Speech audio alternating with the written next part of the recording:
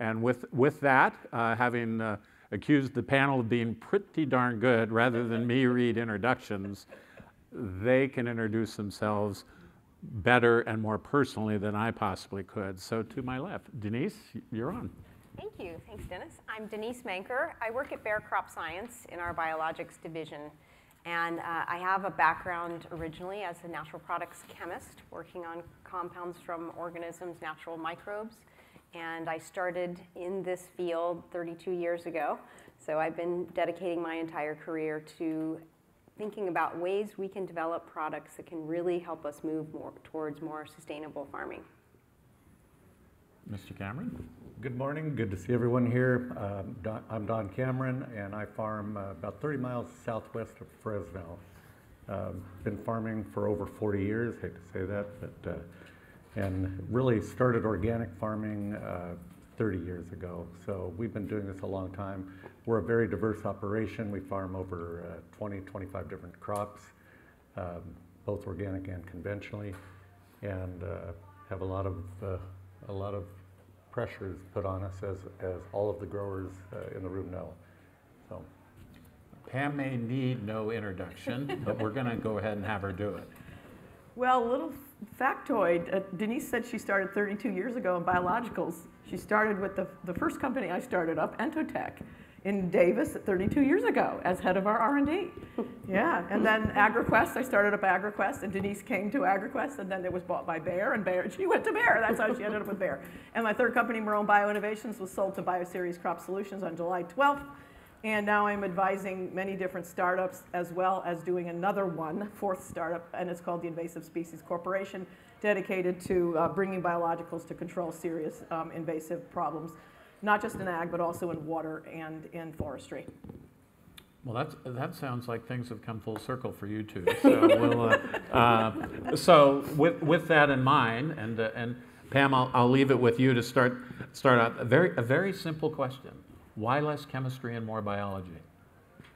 Well, there's many reasons. First, number one, because when you incorporate biologicals into the program, you can see better return on investment Number two, you can improve soil health, reduce greenhouse gas emissions, improve biodiversity, manage your residues, and, and manage uh, resistance uh, to, to other uh, products.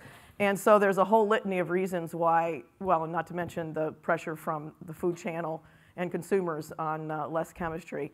So uh, there's a whole number of reasons.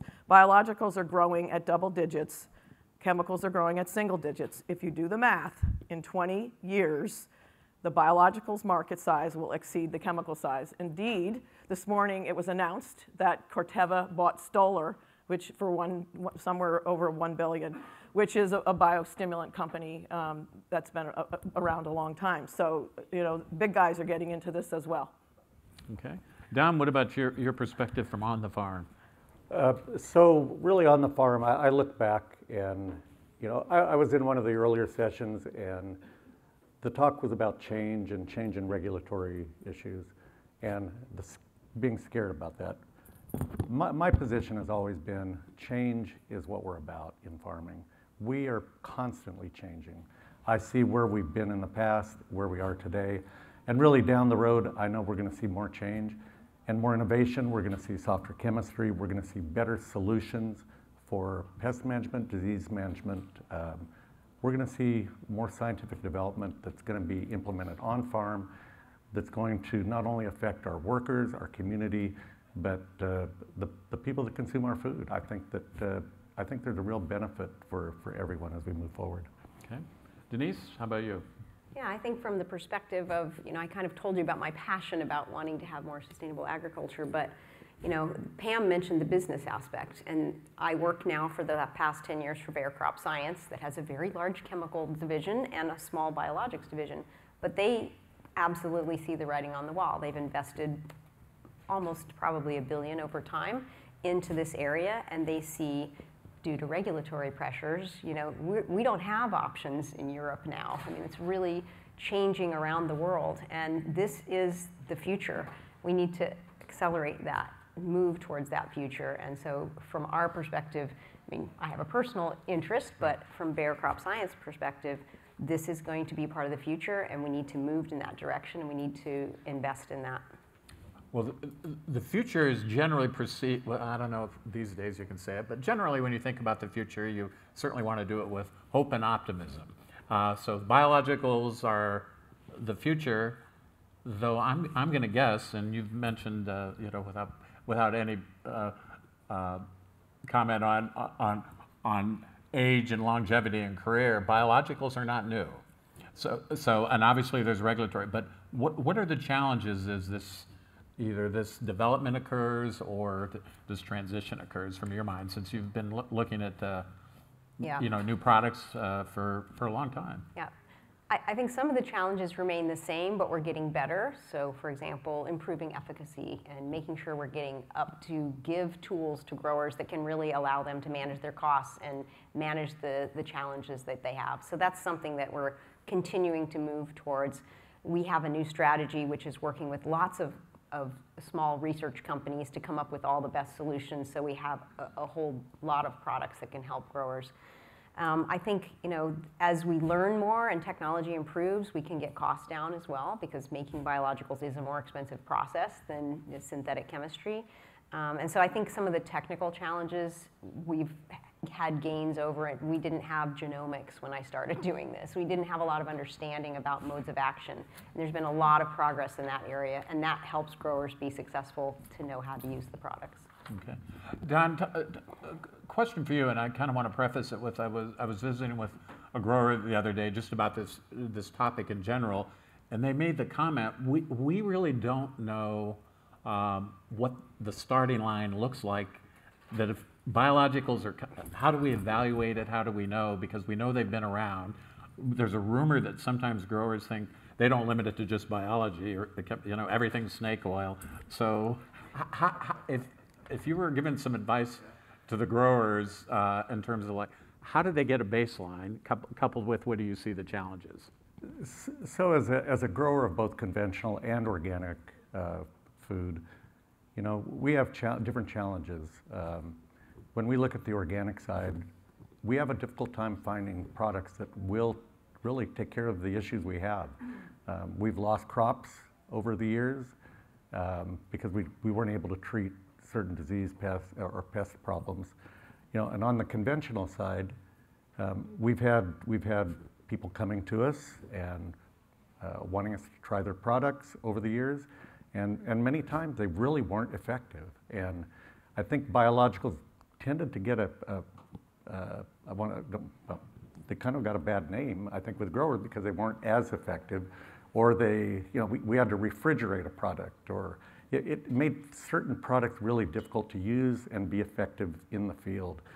Um, but I think we're going to see some major changes, and uh, and I look to where what we see, uh, the pressures that we're going to see in conventional production with traditional uh, pesticide usage is going to change, and it's going to allow growers to innovate to new products that will be extremely beneficial not only to the, the conventional grower, but to the organic grower as well, because all of the, there's going to be many products that are going to be able to be used in both conventional and organic and fill a niche that uh, we really haven't seen in the, uh, filled in the past. Okay.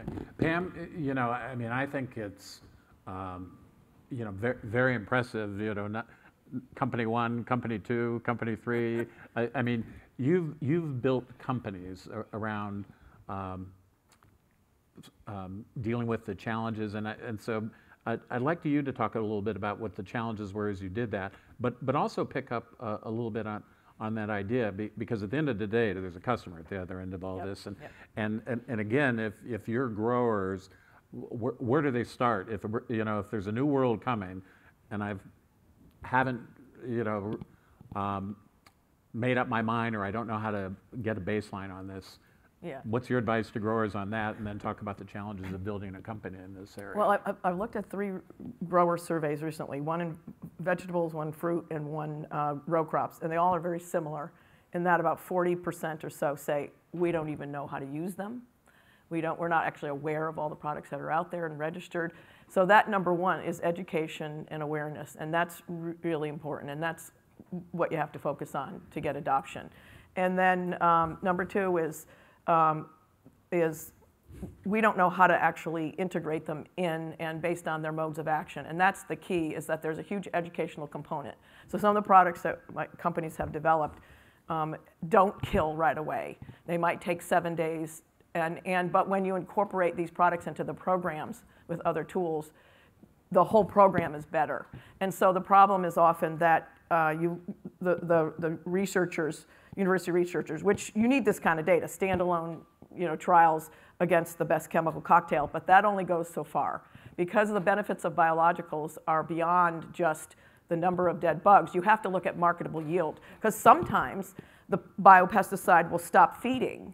The bug will still be there, but if you counted dead bugs, it would look as a failure. But then when you look at marketable yield and quality, they shine. So that's why return on investment is a better measure. So the real key in getting adoption to the companies that I've started was going on the farm, doing demonstrations with key um, early adopter growers like these guys, kind of guys, um, and doing a block and showing what, what your product does incorporated into the standard program.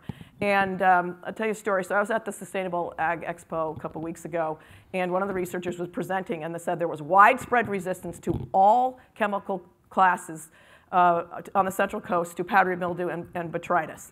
And so um, so I said, well, are you going to incorporate in biologicals because they have, uh, you know, the modes of actions are such that that, uh, that resistance is a very low chance of happening. So you could really delay the resistance and stop resistance by incorporating biologicals. And the answer was, well, I haven't tested them. Um, I've got some money from CDFA, so come back to me in three years. And I said, whoa, whoa, whoa, whoa. And all the growers were like, wait, wait, wait a minute. We have a serious problem right now. If you wait three years, only the, the resistance is going to advance and the products, they'll get product failures, more product failures.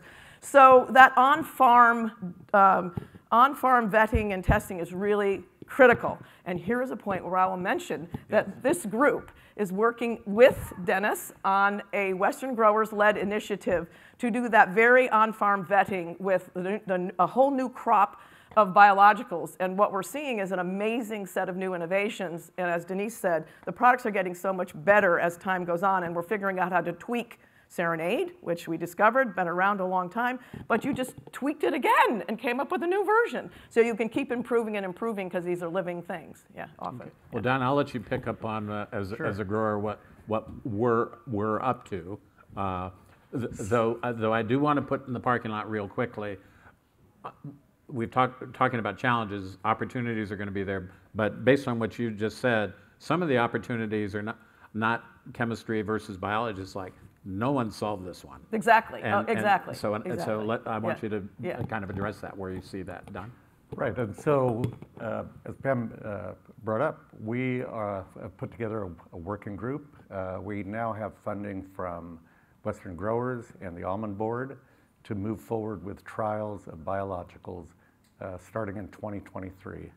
And these are going to be on-farm, grow, uh, on-farm trials with uh, growers, and uh, we're going to we're going to start trialing some of these products that are out there and uh, check effectiveness and, uh, and, and really Share see, what, see, how, results. it- see how it looks. And uh, because I think that's been lacking. And, and as, as said, growers are really not real familiar with biologicals. And to get them in the hands of growers, put them in, in real life situations and see how they do and, uh, and, and move forward. Well, before we get to our product development guru, st- th- stay with a little bit uh, where they're just playing gaps. Yeah. Uh, you know, s- l- like um, uh, you know, chemistry versus biology. I'm I'm pretty sure we that's not addressing INSV as well as any of us would like. Wh- Where where are the big gaps also from? So which means it's an opportunity for somebody or something.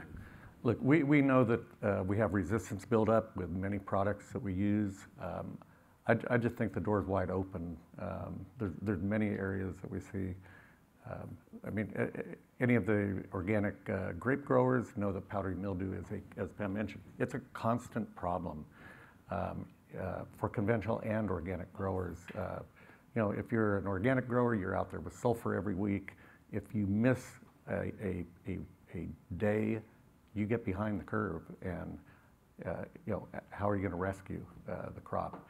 So I, I think a lot of growers have been reluctant to move in that direction because they're, they're afraid that it may not work. They may lose a crop and uh, they, they want to remain economically viable. And so I, I think there's a lot of opportunity, a lot of, there are a lot of gaps out there in, in areas, uh, especially in some of the minor crops. Uh, we see, look, we're always seeing new pests coming in, into uh, California and into our crops. And uh, I mean, I, I've grown crops where there was absolutely nothing registered on them. Uh, and, you know, you're left to your luck. So. Y- y- You know, I was, um, I was advising one company, um, a startup, and they, as part of their National Science Foundation grant, they had to talk to 100 customers. And it was pretty remarkable when some were organic, but most were conventional or both. And they said, well, we use chemicals, but we have, still have all these unmet needs. Fusarium, tomato leafy greens, berries. Um, all the all the foliar diseases in berries, and then you know, grape powdery mildew. And I, and I was I was I was surprised because you always hear you know biologicals get a bad rap, and, and then you hear that you know you you think that chemicals work all the time, and they're always filling. You know they're they're they're they're out there for for everyone. Well, no, there's there's still oh thrips thrips because of pest resistance. So there's so many needs that we heard that still need to be filled. So that's an opportunity for for both. Okay. Yeah. Dees, you've, you've lived in both worlds, you know, the entrepreneurial world and now the, the corporate world. How, uh, and, and you mentioned, right, you know, kind of right from the get-go that, you know, biologicals used to be this part of the portfolio and, you know, chemistry much, much bigger. Where, where do you see opportunities? Because obviously you're implying, from your perspective, that percentage of the pie chart is about to change. Well, I think um, something that I heard in the last session that was in this room was at the very top of every single list was there's a problem with weeds and controlling weeds for the organic got that sector. And that is a really difficult Yeah. nut to crack. I mean, that's really something where we have not been able to come up with a, a, a biological product that can work across a lot of different. So that's a big opportunity, but it's also a huge challenge. Um, I think other areas that we are thinking a lot about and putting effort and time into is things like thrips and other soft-bodied insects that need some new tools. Um, we are developing some things in Europe that we hope we'll be able to bring over to the US as well that will be organic registered. Um, and then there are these new challenges, as Don mentioned, and you also, viruses. So we have a number of different areas to look for new sectors where we can try to solve some problems. Let, let me pick up on the bring things over from, from Europe uh, comment. Does what looks promising or is working in Europe, uh, you know, on a particular crop, uh, does that automatically transfer to we get it into California, or do you, you still have to play with the formula a little bit? Um, generally, our formulations have worked worldwide, Okay. so we haven't had to do too much specialization. Where I see some specialization happening is more around biological seed treatments, soil types around the world. Those are places where we maybe have to. But if we're talking about foliar and you know treatments or maybe soil pathogen treatments, those formulations have worked pretty well. The regulatory piece is another issue. You know, like oh. do you have the right package? And this was the other session I missed this morning, but while I was in here. But I think that there's that, and then there's just the the marketing piece. You know, how do we get the the organizations interested in a market that's big enough for them to you know go forward and and and service that.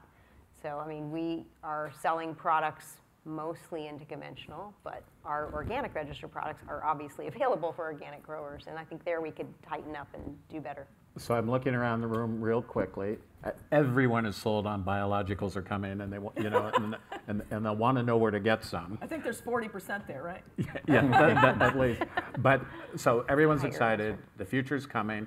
Pick up on the regulatory piece, because I, I think, I think in terms of, and I want to do it in the context of, okay, what does adoption really look like and consist of, and how do you then begin to know what you know that, that you feel com- com- comfortable with this. And this and this regulatory piece, in terms of managing expectations, is uh, you know how, how long does it take to run the gauntlet? Because you know Pam, like you mentioned at the conference you're at, you know, uh, uh, you know I think most most of us kind of feel like we're drinking from a fire hose these days, and we need answers now.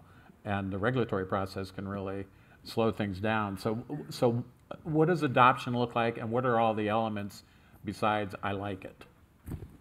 Well, as I mentioned, um, uh, there, there's, there's, you have to, a a company that has a new product has to come in with good, good, solid field data, standalone, and, but then that's not the end of the story. You have to have integrated into the program how they're in real life use.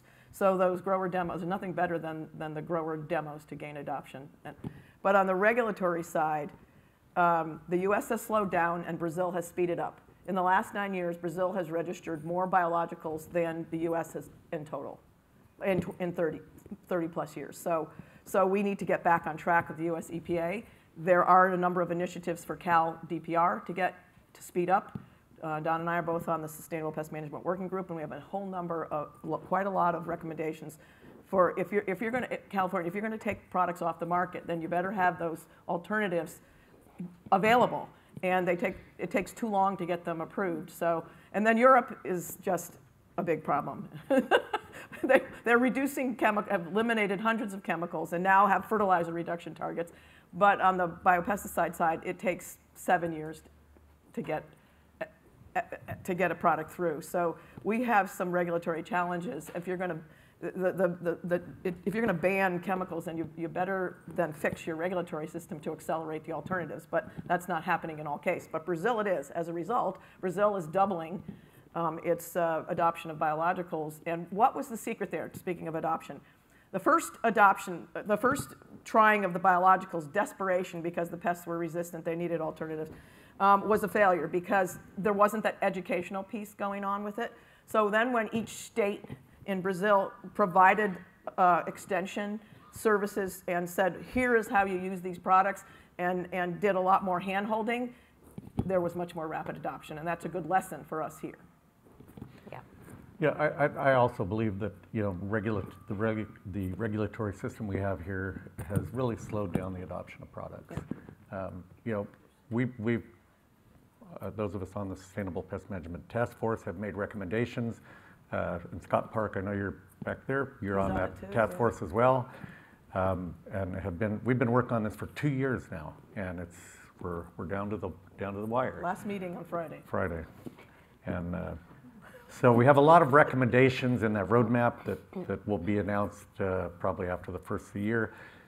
But one of the recommendations we made was that DPR um, shorten the time period that they, that they go through, especially for uh, biologicals that, that may not have the issues that a traditional, the traditional chemistry has um, so that we can get these products in the hands of growers and in, the- in really in our hands so we can trial some of these newer products um, to find solutions for, for some of the, the priority uh, pesticides that are going to be targeted in the near future. So we, we, need, a, we need an arsenal. We're, the, but look, as, as growers, we know these bugs, these diseases, they're not going to go away. Uh, matter of fact, we're going to have more. With the climate warming, we're going to see more rapid population explosions. We're going to see introductions of exotics. Um, we have a lot of issues, and we're going to need we're going to need something to, to be able to use that's uh, that's going to be effective, and that growers can afford. That's going to work. So. Denise, what, from a corporate vantage point, and you, you also um, alluded to uh, how, uh, how Bayer's doing things, you know, you're doing what you're doing, but now also looking at a lot of smaller, smaller companies and that sort of thing. So um, what, what are all of the, uh, you know, just how, how does that work in your world? You- You're working in the lab, and then who's, who's looking at the other companies and who's making those evaluations, that, Yeah. that type of thing? So one of the things we're doing is kind of broadening our our, our areas of products that we're that we're going to have in our portfolio. So we've been doing microbials for quite a long time now. We're going to start incorporating also um, pheromones and plant extracts and sort of broadening the different types of products that we can look at. But what we did, since we are no longer doing the internal discovery, um, we set up teams of people that are evaluating these companies. And a lot of this has to do with looking at data. What, what kind of data do these small companies, they may not have the resources to do a full commercial formulation or registration package or trials all over the world, but we can provide that. But if they have a certain level of data that's really you know, believable in terms of their field trials, and I'm not talking about 10 years of data, but just something that looks reproducible, that's something we can start to work with. And I, I spent 10 years in charge of global field trials for biologicals, um, first at AgraQuest and then at Bayer. And one of the things Pam said is really key, which is that to get a registration, you have to have standalone data with a biological. And that is not how they perform well. You can get enough data that you can get a registration most of the time, but really these products work in systems. That's and right. that's how a lot of growers think about the system. It's the system that works. And so until we put these products into integrated programs where we're using other tools and we're using the, the full capabilities of the biological, we're not going to see that. And that also goes, you know, Pam talked about people not having enough information about how to use them. We haven't had extension support that really focuses on these kinds of products. And, and maybe there are some people coming up now, but in over my career, you know, I've seen basically they're testing them as if they're synthetic systemic chemistry. And they don't work that way. That's and right. so this is why we need to have a different approach to supporting growers with extension, with programs that can test them in real conditions and show the value of the biologicals. Well, question, and you know, I- and Pam, you and I were visiting last night. I, I, I heard a phrase I liked, this, this whole issue of knowledge transfer. And, uh, and you know, I, I'm- think we're all glad to see, uh, uh, we, we won't do a show of hands, but I'm assuming there's a few crop advisors here. Uh, And, and I've always been impressed by their continuing education ca- capability. I, th- I think that, I think that's pretty impressive. So how, how, how do we, uh, you know, prepare growers and, and prepare for, for the future? What, in terms of education and knowledge, what's the, what's our best bet? Well, you know, it has been, um, as Denise mentioned, it, it's, it's been hard to engage the uh, extension uh, system to, to understand these products, but um, there are a lot of, as there's a generational shift, my generation retires. uh, There's a, a, a younger group coming in who are- keen to adopt not only to, to look at biologicals and systems, but also tech. So incorporating um, smart traps and um, both spore traps and smart insect traps and other technologies, the, all the digital tools, because you can use those, that tech to make biologicals better and better, and, and, and also spray, any kind of sprays, uh, uh, more accurate or reduction of sprays by timing your sprays much better, and that's key.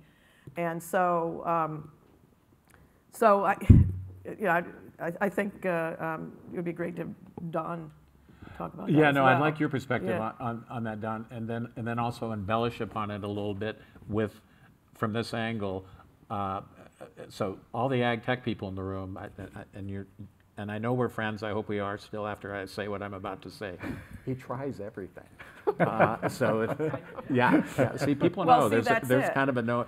Early so, adopter. um, wh- What's the, uh, the the tech play in, in all this in terms of s- skills that you're going to see people having having to have? But uh, you know, he who needs to know what? What's the best way to get there? So, you know, as a, uh, we, we do try a lot of different things. you you do, uh, yes. Um, We're still in business, so that's a good thing. We have, we have, you know, we don't do the whole farm. We just, we, we do a lot of trialing on farm ourselves. But, uh, you know, you, you're right. A lot of these, a lot of the farmers out there, they're never going to change, no matter what. We, we know that. You know, they're going to retire, and that'll be somebody else will fill their spot, and and they'll be more creative, I think. And I think they're going to be more open to new solutions. And I think that you know you've got to get it in the hands of growers. You have to, you, and you have to give them an education. I mean, you really have to have the technical assistance to go with these to make them work properly. And look, we're going to be, we know we're headed toward toward limited, uh, more limited pesticide use in the future. And maybe that'll drive some of the growers to make the switch. But you're going to see, I think you're going to really see some of the, universities. I mean, we, we've been proposing this that, that there's additional training and support for, for not only for UC extension, but for PCAs. Right. Be ready because it's coming. Yeah. Um, You're going to be required to do more. You're going to have, I assume, additional categories uh, coming forward. Um, there's a lot in the works that's going to be out fairly soon. Yeah, that was one of the recommendations we made of the work group, was Yeah. that both extension as well as uh, PCAs and CCAs get additional training in sustainable pest management, so that is coming, yeah. Okay. Denise, from uh, um, your from your standpoint, and you know, we've heard about you know crop advisors, uh, uh, the university system. Um, you know, the Bayers of the world have the ability to go to market. So I, I presume part of what gets on the considered on the drawing board is okay. How how, how are we going to how are we going to get to market, and who needs who needs to know what? What's the education process look like? Well, it's the same thing that we're talking about with growers, that it is internally for us. It, you know, when you start a business that is entirely chemical and then you add biologicals to that, you have to do a lot of internal education. So I do a lot of technical advising, not just for distribution and growers, but also for my colleagues, because they are different and they, they don't work the same way. So it, it is a process of, of education inside the big company as well as outside in order to see, we aren't used to running trials where we look at return on investment and what, what was the marketable yield. We're used to looking at trials, did it kill this pest? Right. And so ch- shifting that mindset, and we are also really moving towards systems in the whole company. So what you talked about with the digital approaches, whether that's early disease detection or whether it's uh, more precise application, this is going to be an important part of what we're creating to have value for growers, where we have digital tools, we have you know, different crop protection, and we also think about soil health and what kinds of products are we putting in to help plants. You know, you mentioned climate. We have, you know, severe stress now on plants that, that wasn't there before, and help. And we, we know that microbes can help uh, mitigate plant stress in whether it's drought or too much water, or whether it's you know the pH of the soil. There's a lot of different things we can do, but I think, I mean, I don't know about the other big companies, but ours, and I see also in the liter, in, you know, the press, we're thinking a lot more about systems and how Yep. do we approach the entire farming system in a way that helps provide food for people and also be more sustainable to the land. Okay, I want to pick up on the systems thing in a, in a second. Go ahead, Don. No, I was just going to say, the other thing, you know, when I look at the future in farming, um, I look at it as a, a much more integrated system with technology. You know, we're going to be looking at um, models that actually work and predict, that are much more predictive than they are now. Um, we're going to be able, uh, Pam mentioned it earlier, for timing of, any type of sprays you're going to be doing.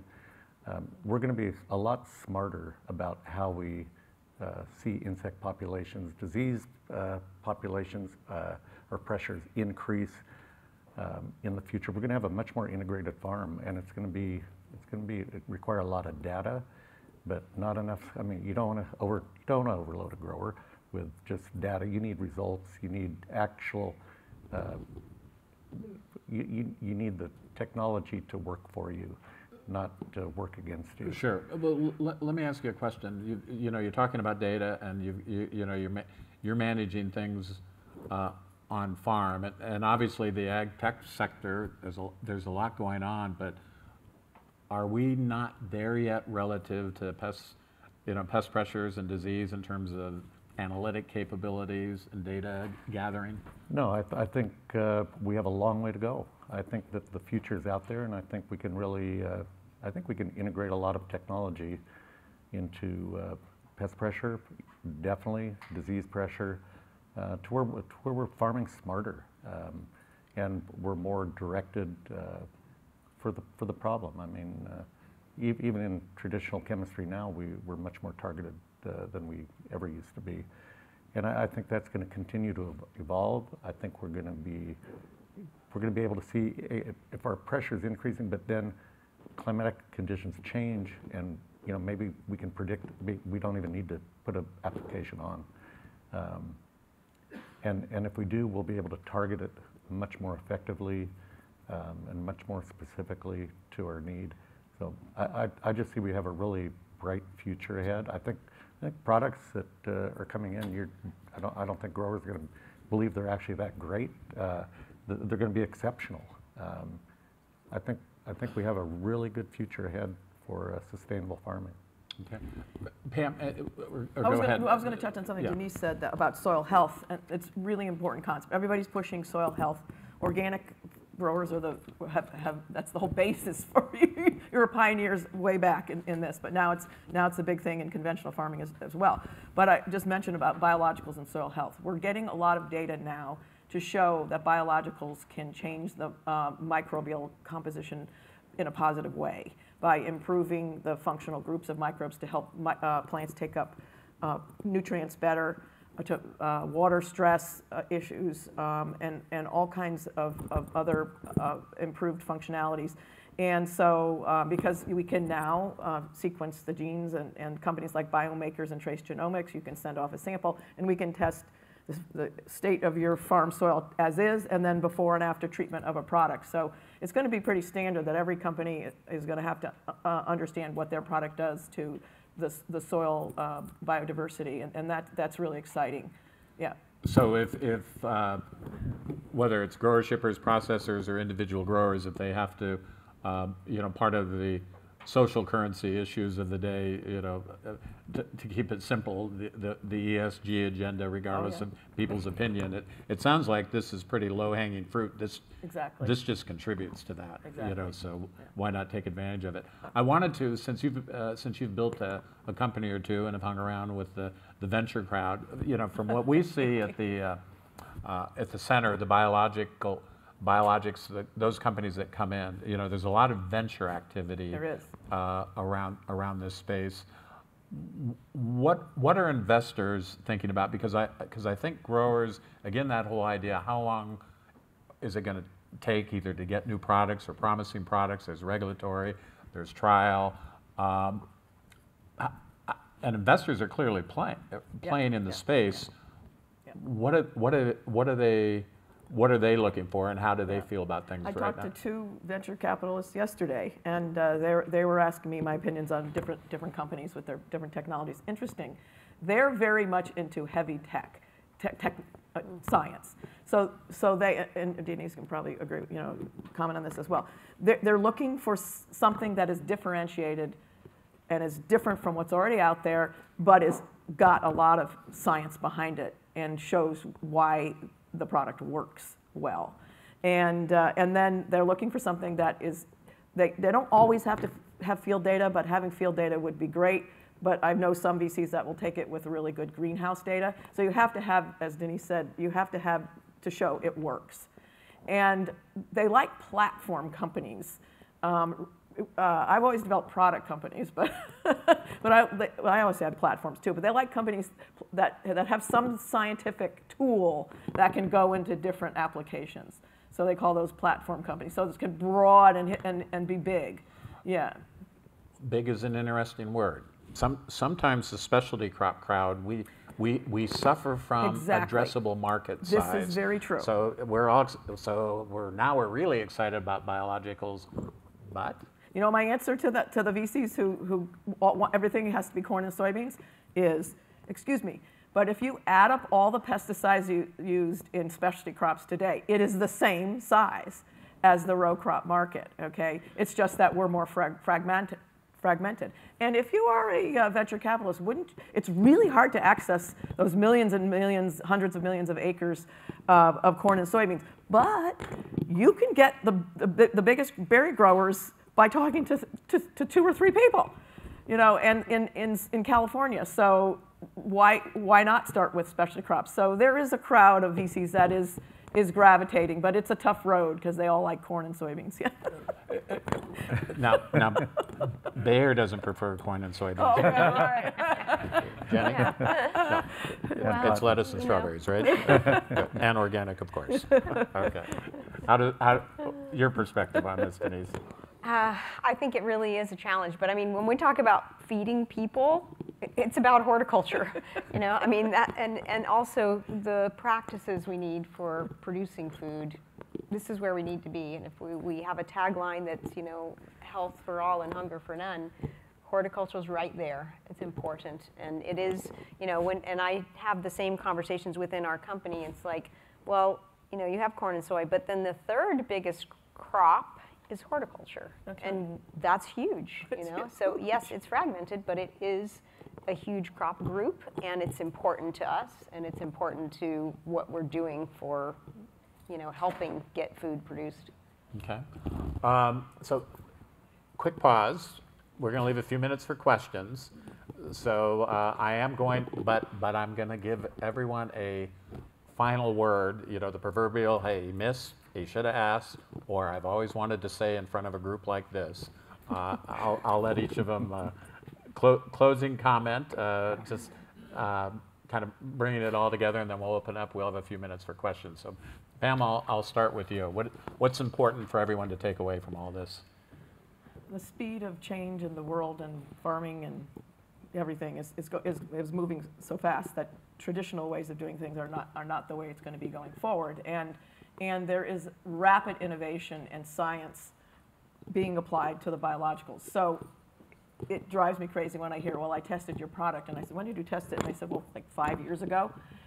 Remember that uh, there's, there's a very different business model for biologicals than big chemicals. With chemicals, you spend 300 million upfront, have thousands of field trials, and then launch it big. With biologicals, you launch your version 1.0 with some guy like this, and then he gives feedback, good or bad, and then uh, that goes back into the back into to developing. The small company would then develop 2.0, and, and because we're often often working with living microbials, you can constantly change the microbes. So you got to understand the different business model. Don't expect a, new biological to have a thousand field trials, global field trials behind it, um, unless it's something that's been vetted by Bayer or you know an older product or something, or they vetted it. But but uh, uh, you know you, you want to understand that that your first version may solve your problem that you have, your thrips, you know, resistant thrips or something, but it's not going to be perfect. But it'll serve a need, and then just wait. You know, in a couple years, it's about every two to three years, you're going to have your, your next version. Yeah. Don, your thoughts? Yeah, and, and honestly, I wasn't aware of this until I spoke to Pam, and I had tried things years ago, and I thought, okay, I'm never going to try them again. So I guess the, the, the take-home message is, you know, be open, continue to try different products in different situations. Um, I'm organic and, and conventional, and I have learned so much from, from farming both ways. We, we integrate things from one side to the other all the time. Um, but just know that there are products that are going to be coming. Keep your mind open to them, try them, and like I say, we're, we're going to be doing uh, trials on uh, the best looking products that we think are out there and hopefully continue this for, for many years and really start a program to where vetting will be uh, done. And look, we all farm in different regions and uh, have different, different uh, situations. Um, but definitely uh, know that uh, we're headed in the right direction. And I think the, the future in California is great. So. Okay. Denise? I think we're on the cusp of a really new era for biologicals. You see all the big companies are involved and many, many small companies and you know people realize that change is happening and we're going to approach this in a way that's going to be able to provide more tools faster. And we aren't going to have the model anymore that we have to have a thousand field trials, you know, for biologicals. We need to get out there and get products out there. And so relying on all different kinds of data to, to get there. So I think we're, we're really on an exciting point right now with biologicals. All right, that sounds good. Um, all right, I, I, a question? I, I see, I s- see some hands. According, according to this program, which, which I read, we, we, we, well, I just looked at the pictures actually. Uh, we got, we got 10 minutes, and uh, you know, not, not a minute less or a minute more. So your hand was up first in the, in the back, and then I want to make sure though before I call, can I have everyone uh, thank the panel? I think they were. Uh, I, I, uh, I think they exceeded pretty darn good. So uh, hopefully you learned a thing or two. Okay, got you in the back. Yes, sir. Sure, thank you for the discussion today. Just wondering if there are any, oh, how about that? Uh, I have a loud voice anyway. Norm, I didn't know that was you. I'm losing my sight. Thanks, Dennis. Uh, Just wondering if there are any concerns about the use of biologicals intersecting with food safety measures and whether or not that's contributing to the hesitancy of using biologicals? I mean, I think that, that I just had an email yesterday from some of our guys out in the field saying, okay, there's a new leafy green requirement for certificate of analysis for microbial, you know, this kind of thing. So we're definitely aware of that. And yes, I think that because we're thinking about food safety everywhere and different things that can happen, we need to be able to have systems that differentiate good microbes, bad microbes, and we are we are already on top of that with our manufacturing. But being we are now getting that information across to suppliers. So that, yes, that's a concern, and it's something that we're aware of and definitely dealing with. But it's not, it's not like there, there are the microbes that are the biological pesticides or the biological stimulants that are, um, well, I wouldn't say, biopesticides are regulated by EPA, and we have to prove that there are no human pathogens in any of our products. That is not the case for biostimulants or bionutrients, okay? So you need to ask the manufacturer of those, have they tested for human pathogens in their product? I think that's really important because they're state regulated, they're not EPA regulated. But we as biopesticide companies, we, can, we have a, a, a stricter standard for human pathogen presence, and we can have zero, than actually chemical pesticides do. So, Okay. Yeah. Don anything, or next, next question? Yeah, next question. Next question, all right. we're- But, but no, that, that is a concern. Yeah. Um, Food safety and, uh, you know, what, with what we deliver, we have, we have very tough standards that we, I, I- I assume this is as- uh, analogous to when, when I was in the game and then I'd get the memo from the processor, you can't use this anymore? right. Say- As you know, Okay. uh, you know, we, right. we get pesticide lists uh, from our, from our uh, processors uh, every year. Okay, all right. Some of them are very Yes, sir. different. Yeah, Oh, question, he's got the mic. oh, there in was the one back here. Oh, okay, The mic's in the back. All right. Then you're next. then you. um, to Pam, uh, Yeah. do you think there's any value in moving away from the term traditional chemistry uh, with the connotation of we stick with that? And then a follow-up question is that when do you think we should start talking about more of the chemistry related to biologicals? So those chemical elements of the biological products, you know, talking about that rather than it smells like a bug, it looks like a bug, Yeah. it's a bug. You know, that's a really good question because I spent my whole career, and Denise is a natural product chemist, focusing on natural product chemistry produced by microbes and plants. Yet, because it's easier to develop a living, in many ways, to put a microbe on a seed or spray a microbe and not characterize the natural product chemistry produced by the microbes, the chemistry, the natural product chemistry has gotten short shrift. But indeed, one of the reasons why we were successful with the products that we developed is because we optimized that natural product chemistry in fermentation. And every batch we make has a specific level with an analytical uh, chemistry method of that particular chemistry. Um, that's true of Serenade, that's true of Regalia, that's true of uh, Venerate, any of the products that we've developed. So um, I think, I think natural product chemistry has gotten short shrift, um, but it's, it's really important. But the regulatory agencies love, love the living microbes, and they treat the natural product chemistry as synthetic chemistry, even though it's totally different. It's very biodegradable. I've not, not, I've not developed a product with, chemi- with any natural product chemis- chemi- chemicals that are as, as persistent as the tradition, and traditional. And there's your word. I don't know. It's called conventional, traditional, whatever. Biopesticides is, is not a great name, and the industry's trying to change it to bioprotection. So I, you know, whatever you like to call it, I'm, I'm open for that. Are you responsible for trying to change it to bioprotection? Not, not alone. No, that's the, the, uh, the Bio, Bioproducts Industry Alliance and the uh, Association of the uh, uh, International Biocontrol Manufacturers Association. Those two are trying to change it to bioprotection. Got So it. I should start changing my language, yeah. Denise, any- I. I think she covered it pretty All well. right. I have a question. Well. I didn't understand everything she said, Okay, so I'm going to take your word for it, so. I, I just, I just like hanging around with these people. Yeah, no, no. I, I learned so much. Yeah, no, no. I, I, I know I have the opportunity to learn a lot. I, like I said, I didn't understand everything they said. So, Dan, yes, sir. How much work is being done on parasitic insects? Oh, that's a huge area. Did everyone hear that? How much work is being done on parasitic insects? So I was just at the Association for Biocontrol Manufacturers meeting in Basel, Switzerland, and what was amazing is the companies, big companies like Koppert and BioBest and others, are actually selecting beneficial uh, predators and, and, and parasites and such to be better at, at controlling the, the pests. And they actually could shift one to become a better thrips controller. And then there was another one that BioBest won the best of show um, for the new product, they found a, a, a, a predator that, a mite, that ate powdery mildew at the same time it was eating the pest mites. So it got a twofer, and uh, really cool. So it's pretty. It's a pretty big segment. I would say about a half a billion dollars worth of uh, beneficial insects are sold globally.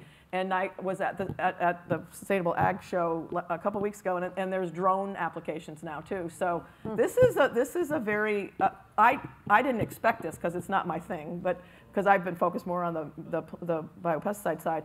But I'm I'm amazed at what's really happening on the beneficial side. Yeah, yeah. Okay. She Yep. got it, huh? She got it. She got it. All right.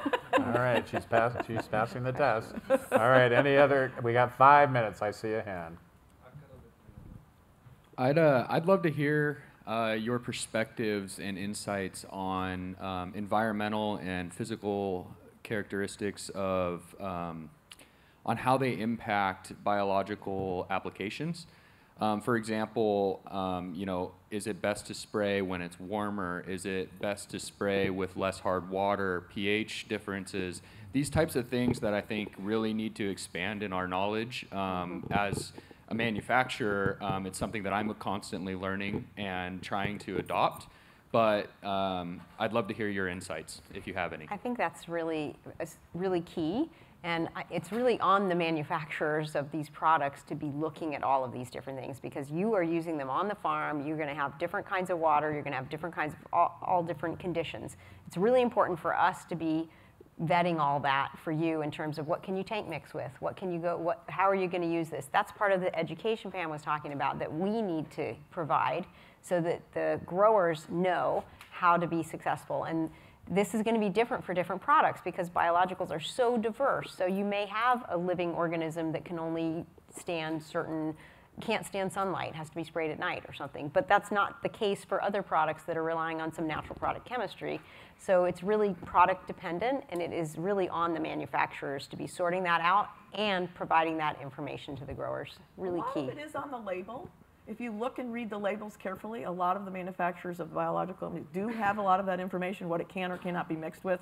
Like you said, some some bacteria like Bacillus can be mixed with fungicides, but others like copper. Trichoderma might be more, or copper, might be more sensitive. So you have to read that label. And how about you from a grower perspective? Yeah, uh, from a grower perspective, um, you know, we, if we rely on somebody else to do the application, um, where is get, where is getting? Away? I mean, this guy may may say, I, I won't work at night. I I only do this, and or as a grower, we have a lot of acres we need to cover.